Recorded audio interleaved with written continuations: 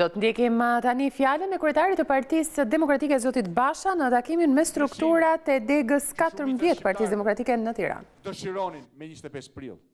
Ujë që rri qelbet. Rotacioni është i shëndetshëm për demokracinë siç është qarkullimi i gjakut për trupin. Këto nuk janë fjalë të mia, janë fjalë të partnerëve tanë. Por çfarë ndodhi atëherë? Dy gjëra ndodhën. në dukje të palidhura me njëra-tjetrën, por besoj që sot, në veçanti sot, nuk ka shqiptar që s'i ka kuptuar. E para që ndodhi është që mosndëshkimi i krimeve elektorale, dosjeve të famshme të Dibrës e Durrësit e të Shijakut, prishja e marrëveshjes 5 qershorit, Mospërmbushja e detyrimeve të reformës zgjedhore që buronin nga raportet e ODIHR-it, çoi në një masakër zgjedhore të përmasave të tilla saqë ODIHR-i vetë tha në Shqipëri sfida e parë është që shteti të garantojë lirinë dhe sekretin e votës. Masakra zgjedhore e njëzet e pesë prillit është burimi i këtij depresioni ekonomik që pastaj është kthy dhe në depresion social dhe psikologjik Dhe është përkthyer në drama të shumta. Nga dramat që kanë ekzistuar dhe para njëzet e pesë prillit, që është drama, për shembull, e fermerëve, që janë edhe pjesa më e madhe e degës katërmbëdhjetë, që edhe kur ju shkon djersa çurg nuk arrin dot që t'ia shofin të mirat prodhimeve të tyre, nuk është faji i tyre, nuk është faji i vendit, është vend i bekuar, janë njerëz punëtorë, është faji i atyre që kemi mbi krye. që nuk janë të zgjedhur, por i kanë uzurpuar ato vende. Dhe prandaj nuk japin llogari, nuk përgjigjen. Sa herë jua kam thënë në parlament?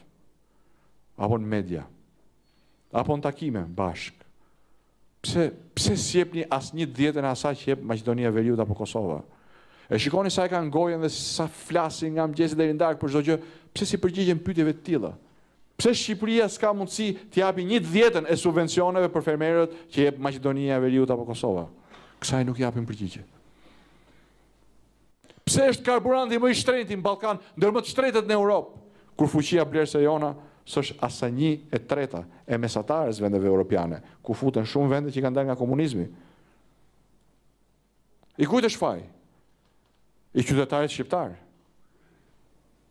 E keni dëgjuar se sa herë që nuk kanë, sa herë që ai nuk ka përgjigje për këto përgjegjësi. Se e keni edhe këtu. Që mos e paçi.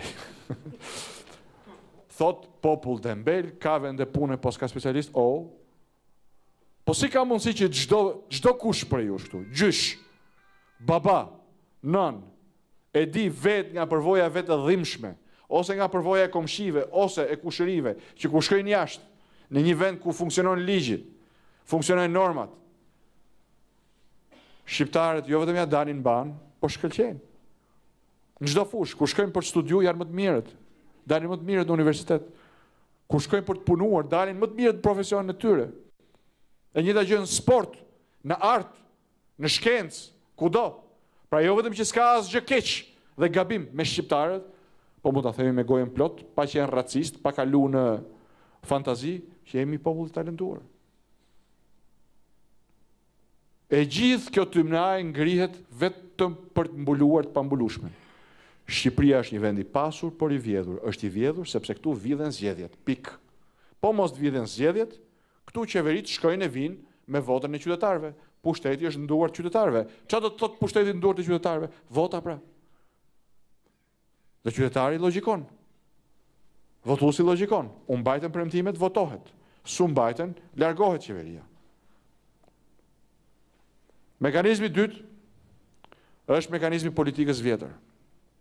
I asaj politike e cila kërkon sundim të përjetshëm, që ka bërë edhe ndryshime kushtetuse në 2008-ën, Marrëveshje, meqë akuzohem unë për marrëveshje, marrëveshje, ajo është marrëveshja e marrëveshjeve, shkatërrimi i kushtetutës në 2008-ën, për të përjetësuar sundimin e pushtetarëve, për të shkatërruar pavarësinë e institucioneve, për të zvogëluar përfaqësimin.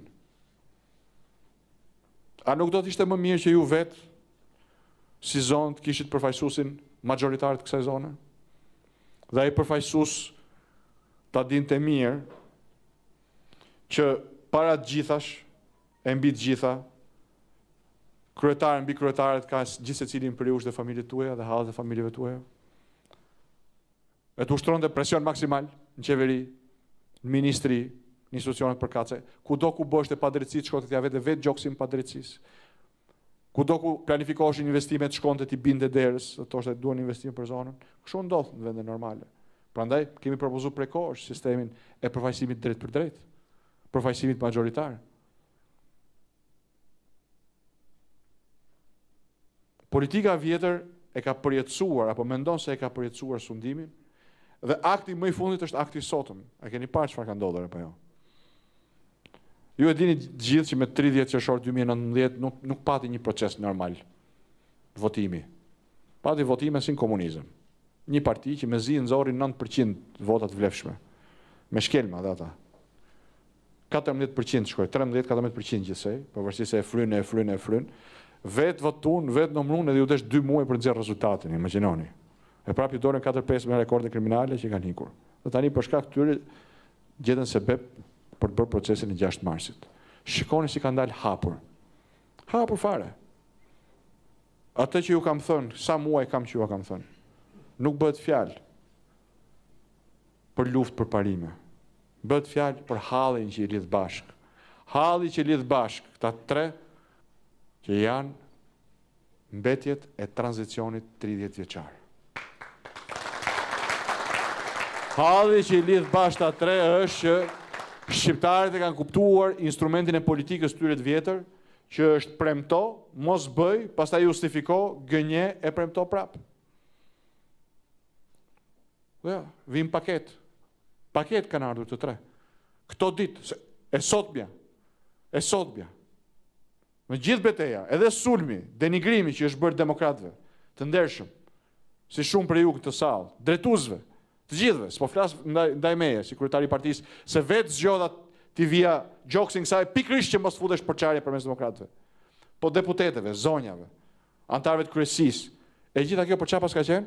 Për t'i dorëzuar PD-në LSI-së dhe Ilir Metës?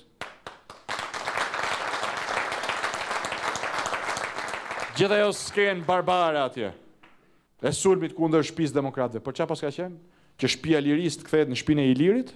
Se kështu i bje? Apo jo?